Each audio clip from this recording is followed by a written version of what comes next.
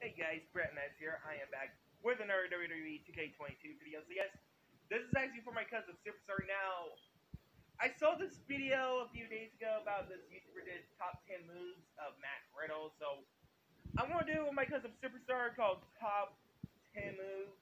Well, top 5 I mean, of Brett Messer, which is my custom Superstar that sort of looks like me, but I don't have tattoos in real life. But anyway guys, hope you guys like, comment, subscribe, and I hope you guys enjoy this video.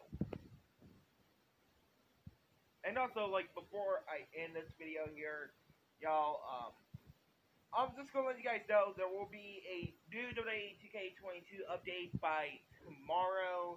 I'm just gonna let you guys know that. Heads up from now.